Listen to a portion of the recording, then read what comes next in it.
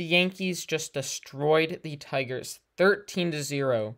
and after the game, they announced some roster moves. So if you want to stay up to date on all Yankees news, then please subscribe and like the video. But let's get into this.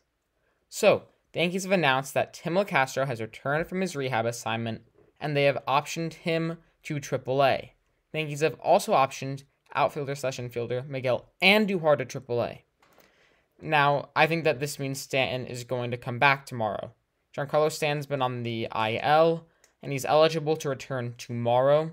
So this is why they're making these moves in order for him to rejoin the team.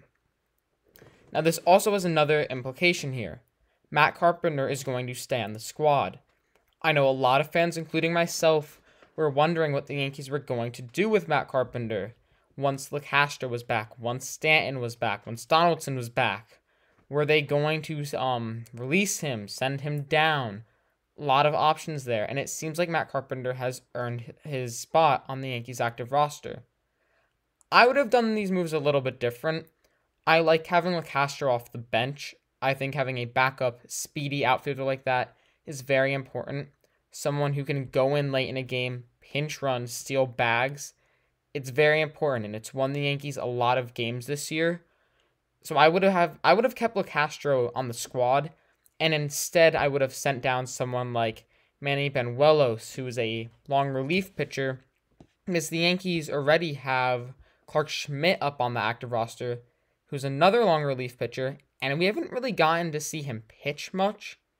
So I would have preferred to send down Manny Banuelos and keep Tim Locastro on the squad. I would have um, sent down Andujar. I think he's worse than Locastro because Locastro is not going to start when Stanton's in the outfield. Yankees are going to run some variation of Stanton, Judge, Gallo, Hicks, and Locastro will be on the bench.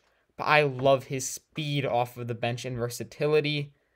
So I, I disagree with this a little bit. I would have kept Locastro up on the squad and sent down someone like Manny Banuelos, who is one of our pitchers. But the Yankees didn't do that. The Yankees have sent down Locastro and Andujar and I believe that we're going to see Stanton rejoin the team tomorrow.